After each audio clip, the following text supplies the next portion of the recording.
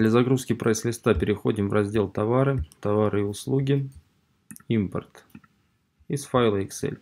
И выбираем наш файл Excel.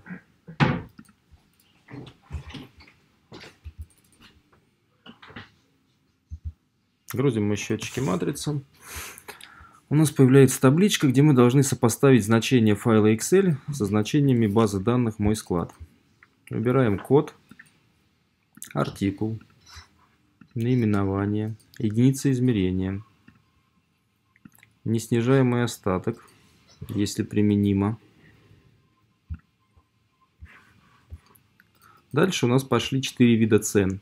Указываем эти виды цен по порядку. Первый цен – это цена завода. Второй вид цен – это наша цена продажи, то есть розничная цена, по которой мы продаем на сайте и при любом другом обращении заказчика. Дальше идет у нас цена с максимальной скидкой. Цена максимальной скидки. И она у нас также является минимально разрешенной ценой продажи.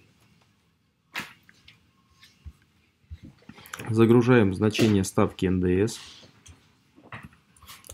Карточка товара на нашем сайте. Карточка товара на сайте производителя.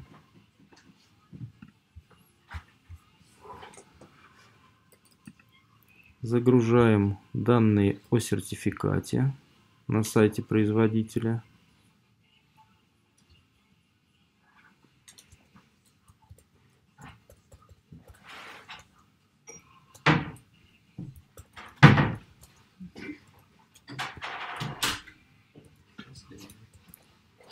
Так, загружаем наименование производителя, собственно.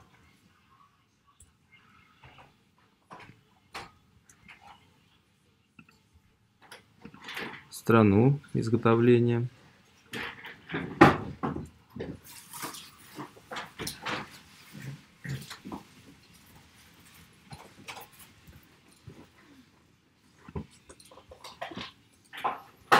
И остается у нас поле модификаций.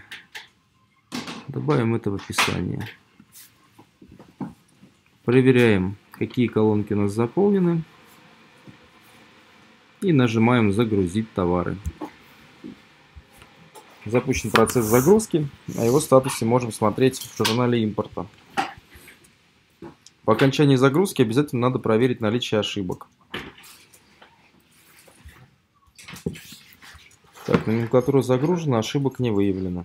Переходим в товары. Загрузка происходит в корневую папку. И смотрим, что у нас происходит в корневой папке. Цена завода, максимальная скидка, цена продажи.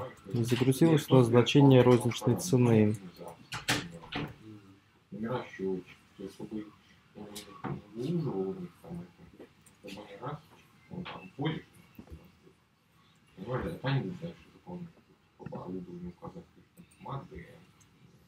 Здесь загрузилось тоже все корректно. В описании попала модуляция.